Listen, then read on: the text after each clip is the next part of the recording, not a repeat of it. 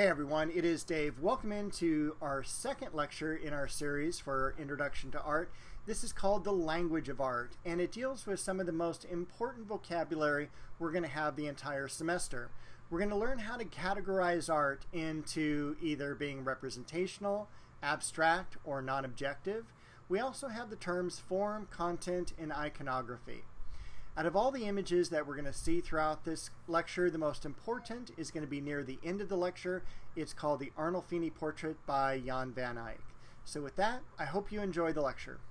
So when I first started telling my classes about the language of art, I put this image up on the screen. And in real life, this painting is not very large. It's about the size of a license plate on a car.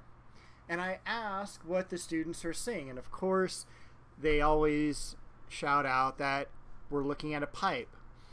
But in French, underneath, we have the words Ceci n'est pas une pipe, which translates into this is not a pipe. So I always challenge them to figure out then what they're looking at.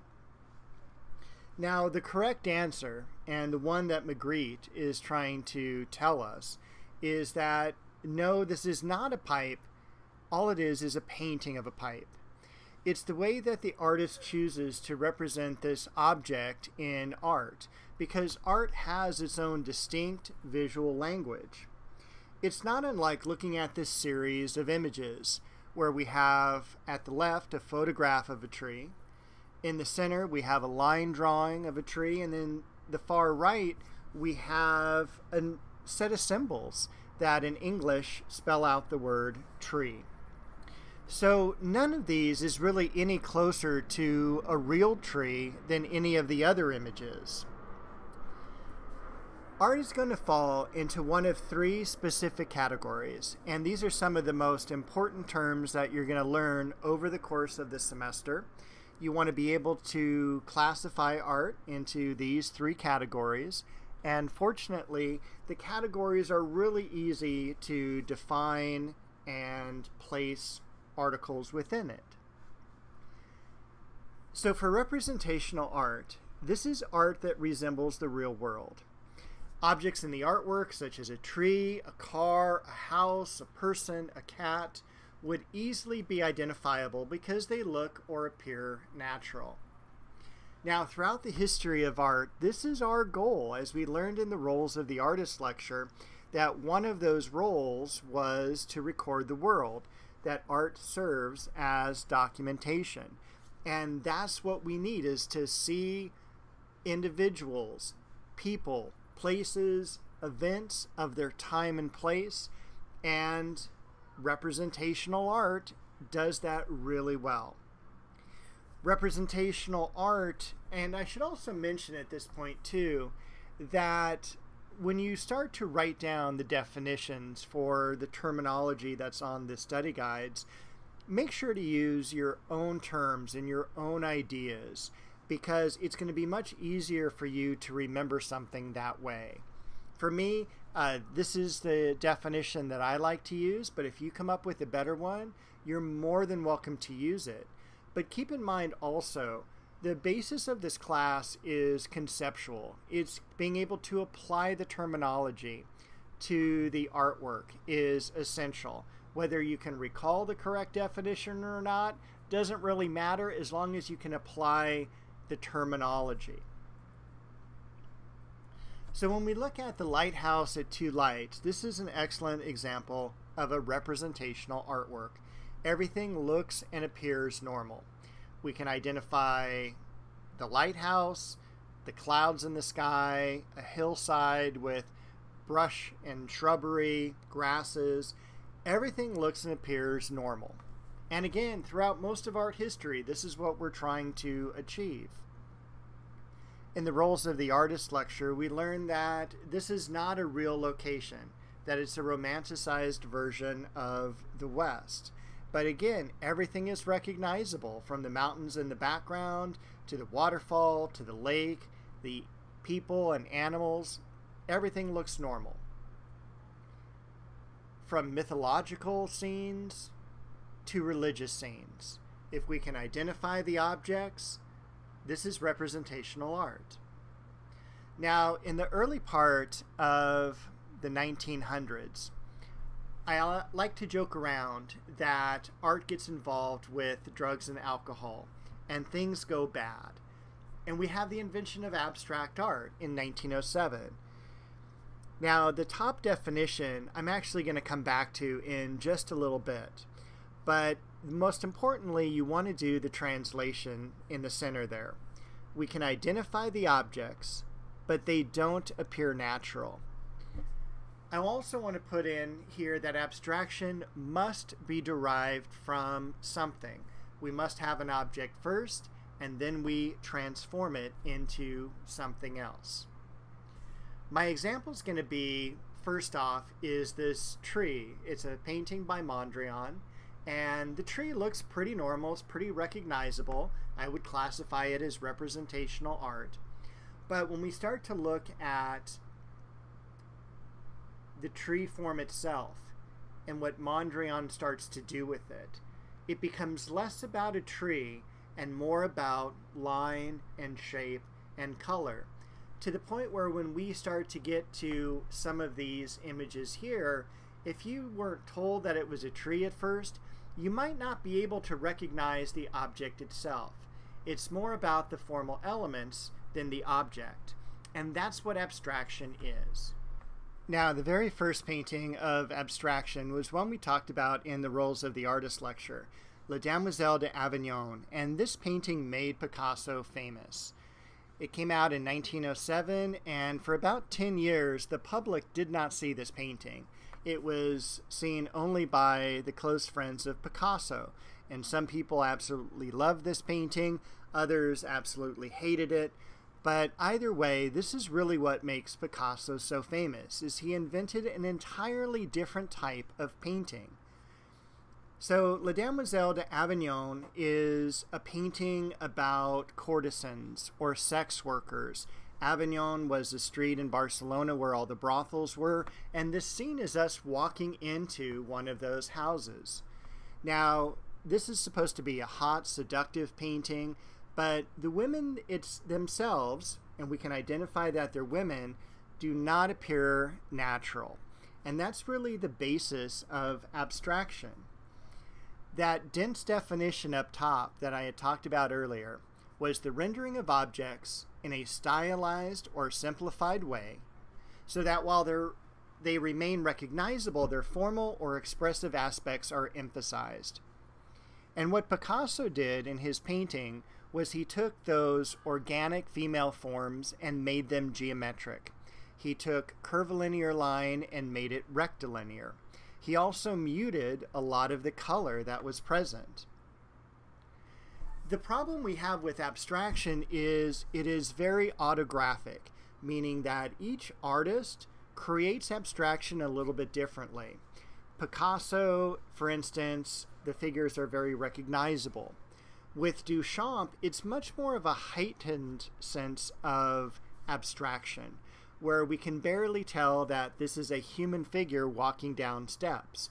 And it's been superimposed on itself like two or three times in different positions. But we can make out the bend of the knees, those arcs, which are called lines of force that propel the body forward. We can identify the hips, the torso, and the shoulder area, but we don't know if the figure is male or female. We don't even know if it's uh, robotic. We also have a term called non objective.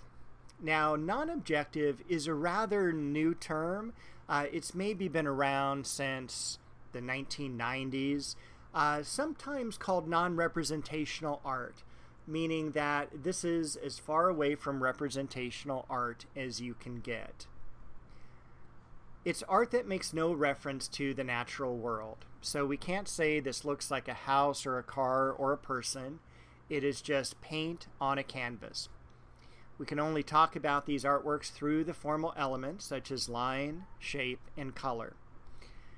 So when we start to look at non objective art, it's going to be paintings like Pollock. And this painting is all about paint and surface. That's all it is. Once again, its line, its shape, its color, it's not a house that's been transfigured. Now, I point out that this is a recently coined term. So, back in 1947, when Pollock created this painting, this was classified as abstraction because that's the only other term that artists had. It was either representational or abstract. By the time we get to the 1990s, we're able to have this third category that better identifies these types of works, where instead of a figure being distorted, it's just paint on a canvas. So even though Jackson Pollock is considered the leader of the abstract expressionists, that's only because no other term existed at that time. So back in the 40s, this was abstraction today and specifically on the exams you're going to be taking, make sure you classify this as non-objective. The same can be said for Malevich's work here. Now, keep in mind, there's not a whole lot of artworks throughout the semester that I want you to know the name of. This one is easy. Make sure you know the name of this painting. And how is he famous? I have no idea because I'm not famous and he is for doing something as silly as creating a black square or a red square. And for his really complex works is where we have two shapes. So we're going to take a moment here to review the three different types or categories of art. Representational art Think of it as one wall in a particular room. It is finite, and if it looks like the real world, it's representational art. The wall opposite that is the non-objective wall. It is finite as well because it has one specific form of art, something that can only be classified as line, shape, and color in between those two walls is this gray area but we can move between the two walls so there's a lot of space for different types of abstraction. Again, abstraction is very autographic to the individual and people create abstraction differently. Sometimes it's like Duchamp, which you see off to the left, that is a very heightened sense of abstraction, whereas Picasso it's a little bit more mellow and much more nearest the representational side of the room. So let's take a look at some artworks. I'm going to throw probably six or seven artworks in a row here, and all I need you to do is call out what category you think that this work falls into, whether it's representational, abstract, or non-objective. So here is our first image. This is going to be representational art. As you can see, everything looks the way it should.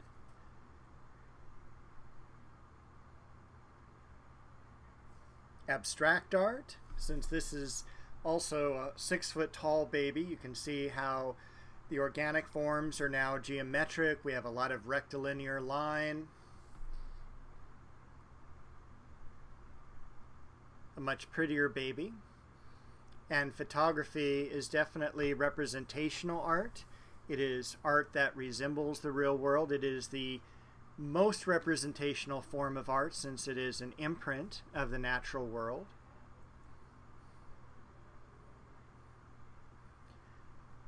This artwork is just line, shape, and color, so it is non-objective. This work also by Picasso definitely abstract. We can still identify the figures. There's also a dog that's off to the left.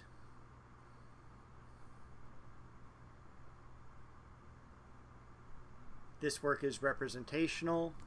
We can identify the elements. And our final work is non-objective. And this is a painting you're going to see in many of the lectures over the first half of the semester. Uh, it is very much like the term art. It's a simple word, but it's very complex in its meaning. This is a painting exactly like that. It's very simple. You and I can both create it. However, it is extremely complex when we start to break it down. So the next two terms are form and content. And you normally hear them being spoken of together, very much like arts and crafts, peanut butter and jelly, mac and cheese. And the terms, though, mean different things. So let's take a look at form first. And form is the purely visual aspects of the work. The cool thing about form is that all art has it. It's how the artist is going to apply the formal elements and principles of design, everything from line, shape, and color to balance and focal point. That is all form. Now, the painting at the right by Mondrian, that has form. This painting by Jan van Eyck also has form. So it is different forms, however, it is still form. When we switch over to talking about content, now we're talking about subject matter, story, narrative, information. It's the idea that the artwork is trying to communicate to the viewer. Now, whether it is successful or not, that is another story. But not all artwork is going to have content. Sometimes art is just purely aesthetic. And for us in uh, art introduction, uh, introduction to art class or art appreciation class, the work at the right doesn't really have any content. The same thing with Pollock's work or Malevich's work, such as Black Square. There's really no subject matter to those works. However, in Van Eyck's painting, there is subject matter. There is a story, a narrative, and we can uncover that information through the idea of iconography. Iconography is the study of the meaning of images. It is how we as art historians look at paintings to decipher their meanings. It's through the icons that are present within them. And so it's really fun. It's kind of like playing detective and what I'd like you to do with this painting is take a look at it and create your own narrative about what is going on in this work. Don't look this painting up. Just, you know, just start writing down some ideas and what you know about this work. The title is The Arnolfini Portrait. It was painted around 1434 by the artist Jan van Eyck.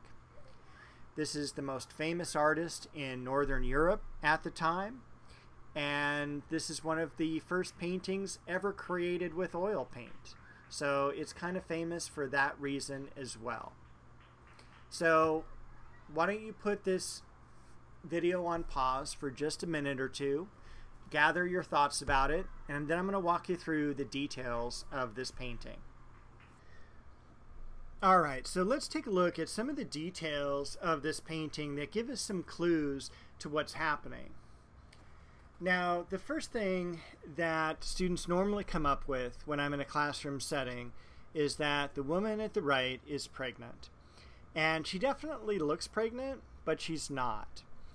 It is very common, especially in the 1400s, with such high infant mortality rates, that a woman would be painted as being pregnant in hopes that she would soon become pregnant.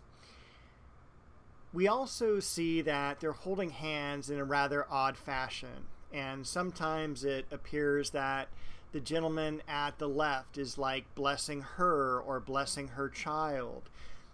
Also, it could look like they're perhaps getting married. And one of the earlier titles of this work was the Arnolfini marriage portrait. If we add in the fact that green, rather than white, is the traditional color of the wedding dress back in the 1400s, that adds a lot more credence to that this is some type of nuptial taking place. We can also tell that these people are very wealthy. Uh, first of all, just to have a, a painting done of yourself is very, very expensive. we look at the sumptuous interior, particularly the textiles that are present, and we know that they have a lot of money. Particularly, though, the chandelier is of interest because even though it's a very expensive item in the home, there's only one candle. And when we see one candle in an artwork such as this, this indicates a religious theme. It is usually the presence of Christ, and particularly at a wedding event, that would be common. When we look at the mirror and the very back of the room, to the left of the mirror is actually a rosary. Around the mirror are the Passions of Christ. Within the mirror are four figures the backs of the two that we see in the painting, but also the artist and a person who is dressed as a priest. Now, above the mirror is kind of this beautiful script, and it says Johannes van Eyck, which is the artist's name, and also this Latin term, fuit hic, which translates to was here. So he kind of basically signs this painting as if it were a wedding document, as if it were a, a wedding license in a way, and serving basically as witness to this event. Now, today we normally consider artists sign their work as common practice, but that is not common practice back in the 1400s. In fact, it's signing an artwork is very contemporary in idea and it's right around the mid 1800s where that becomes more standard. When we look off to the left on the cabinet, there are citrus fruit, and being that this painting is done in Northern Europe, this also lets us know that these people are wealthy since they imported this fruit. The shoes kicked aside, God's commandment to Moses remove your shoes on holy ground. The dog, symbol of fidelity or loyalty, definitely good that it's present during a wedding scene.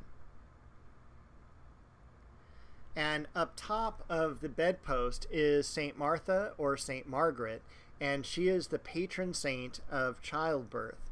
You'll also know that the woman is positioned nearest the bed, which is where she would give birth, whereas the man is positioned by the window, representing the outside world, where he is going to be out making a living. I throw this image at the right end because this is the very first work of art that was signed by an artist. It was signed by the Athenian artist uh, Euthymides, and he signed it Euthymides Painted Me. And it's a really cool work. It's called Revelers, and it's basically a study of a guy who is drunk and dancing around. This is a picture of that dog breed in the painting. It's called an Affenpinscher. And besides the ideas of loyalty and fidelity, it is also a rare breed of dog. So that just adds to the wealth of this couple. Here's how the painting looks in the National Gallery. It's not very large, it's only about 30 inches in height. And when we shoot it with infrared beams, uh, we can see kind of how the artist created this very basic image. And one of the reasons I don't really care for this painting is that the details of the painting are incredible, and I love those. But when you start to look at the faces of the individuals in the painting, they just don't look real, and that kind of takes me out of the work. They look very doll like, very fake, very porcelain. But looking at it through infrared here, we can see that they do look a little bit more human and a little bit more natural, especially the woman at the right. Now, in art history, we love to make fun of classic paintings. The artist at the right, his name is Fernando Botero, and he is a Colombian artist. And he definitely has that iconic imagery with the figures that are a little bit more plump, a little bit more round. And look at what he's done as far as taking many of the items in the painting and changing it, such as the chandelier becoming a single light bulb hanging from a cord. his work is very sought after. So if someone offers you his work for free, definitely take it. Uh, he is a very sought after artist. So I will see you at our next lecture, which is on space and the illusion of space.